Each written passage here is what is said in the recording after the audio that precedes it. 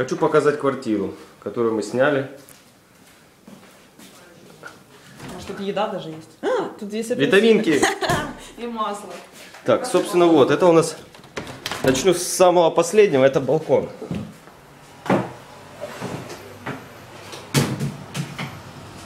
Что-то падает от сквозняка.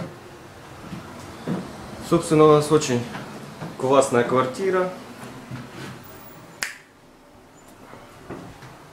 Это был балкон.